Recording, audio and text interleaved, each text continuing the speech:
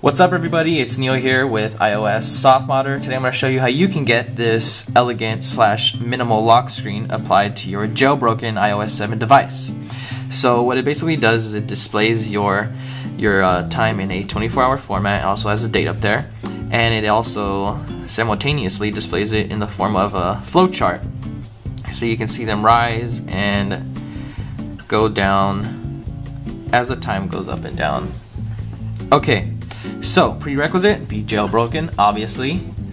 And then let's take this through in steps.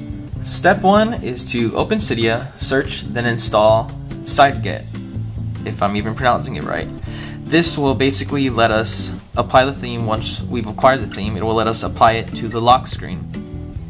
Step two, we're going to add a new source where this theme is available at.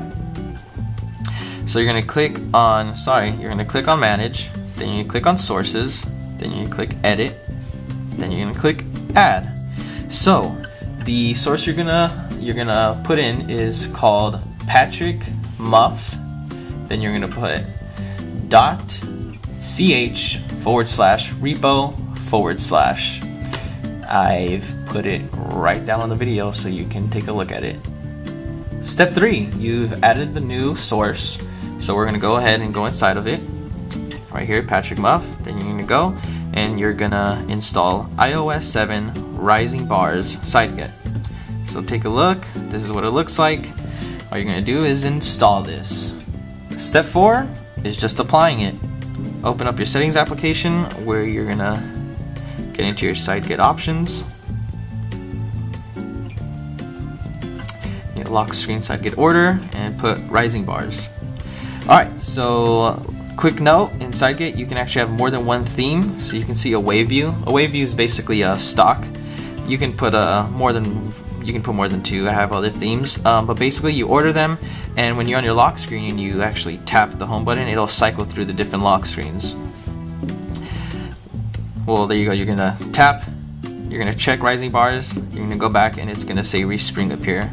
I've already had my check, so don't worry about that.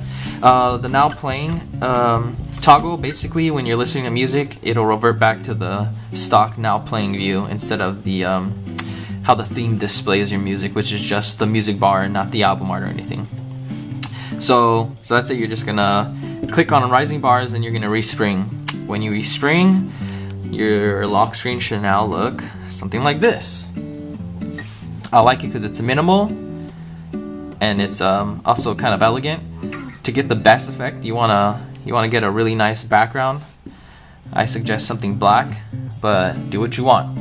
Hopefully you guys enjoy it. If you guys have any questions or run into any issues, please leave a comment, subscribe, and check out the full article, the step-by-step -step list on iOS Softmodder. Thanks for watching.